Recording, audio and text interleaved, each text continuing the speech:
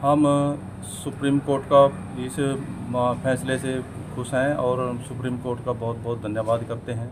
और भाजपा सरकार से और श्री नैब सैनी से, मुख्यमंत्री जी से ये अपील करते हैं कि इस आरक्षण को जल्दी से जल्दी लागू कर। हरियाणा। अपने एस सी एक्ट के बारे में एस सी आरक्षण के बारे में फैसला दिया है। इससे एस सी और एस टी समाज में बहुत ही प्रसन्नता है। हम सुप्रीम कोर्ट का तय दिल से धन्यवाद करते हैं और जो उन्होंने फैसला दिया वो एस सी और एस टी समाज के लिए अमृत साबित होगा।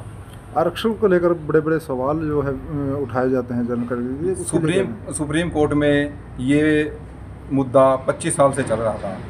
तो 25 साल बाद सुप्रीम कोर्ट ने वंचित अनुसूचित जातियों और एसटी समाज को ये फैसला दिया है कि जो वंचित जातियाँ हैं, उनको आरक्षण का लाभ दिया जाए। क्योंकि एससी और एसटी का आरक्षण कुछ विशेष जातियाँ उसका लाभ उठा रही थी और जो वंचित जातियाँ रह गई थी, उनको, उन तक वो लाभ नहीं पहुँच रहा था। तो सुप्रीम कोर्ट ने ये फैसला देकर उनको एक नया जीवन दान दिया है।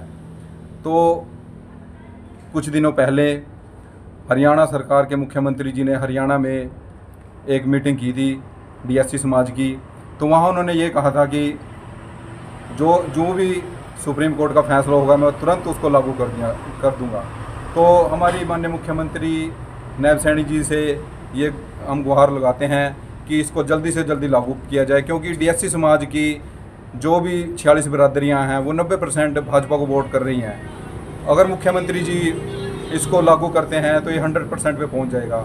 और हरियाणा सरकार में भाजपा की तीस, तीसरी बार सरकार बनाने से कोई नहीं रोक सकता क्योंकि ये बरादरियाँ भाजपा को 10 साल से वोट कर रही हैं और सपोर्ट भी कर रही हैं।